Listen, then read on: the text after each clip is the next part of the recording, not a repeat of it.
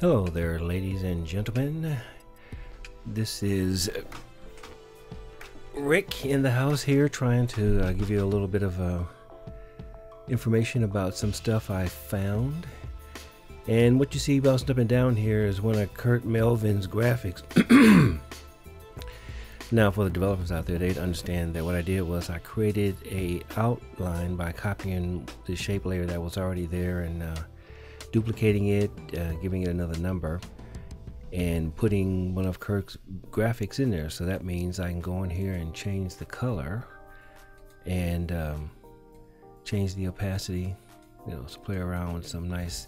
So what could happen is this could, you know, fly in and then bounce in place, and then the text, you know, comes on out there, and you know, nice little effect. It's possible to make the text bounce too, but I was just looking at maybe this a nice little moving background with some kind of creative graphics, or even a, a video in there, picture or something. So uh, could be pretty interesting. And also too, what I did was um, while I was in there using Scott's lesson number mm, can't remember the lesson number it's in the basic course on how to add your own background layer so took the frames that Kirt had bam there they are right here I got 25 of them in here I got 90 or so I didn't go that far I was just gonna see how it looked and it uh, looks pretty good as you can see that the outline is floating above the frame. I thought that would be nice because you can have the frame picture and then this thing flies out. You can put some text in there.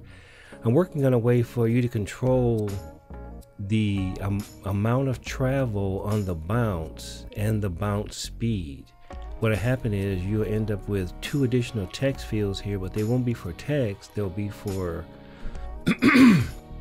one is going to be for pixels traveled. I won't be able to put that in here, but that's what it'll be for and then right now it's traveling 25 pixels uh, from the up to the down okay and then the speed right now is actually 2 or 0.002 really and uh, if you be able to change that so this can go up and down faster or slower and it, you may not want it to move as much you just may want some subtle movement as well as as um, horizontal movement. What I was trying to do is come up with a nice arc to make it look like a ship on the sea where it kind of you know curves forward and backwards but um, hadn't got this far. Just uh, just hacked this together real quick just to see what it looked like. This is actually the code that I was adopting where this would be the uh, the object you know so it would be outline one or outline two in my case and this is the formula uh, that's running. So forget about the hero animation. It was a hero game that this came from that I snagged this from to modify it and make it work. And uh, I will be including that once I package it in a way that makes it useful. Because my copy, I add a variable here so that I can make some changes and make the bounce differently. Uh, but it's um, pretty interesting. Right now, it starts on this side and then after 100 frames I believe it jumps over to the other side so anyway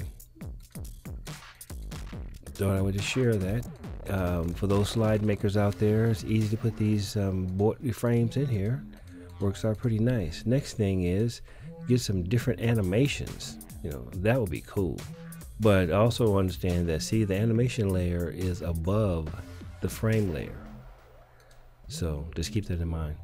Anyway, ladies and gentlemen, have a good afternoon, evening, or whatever it is for you. This is Rick signing off.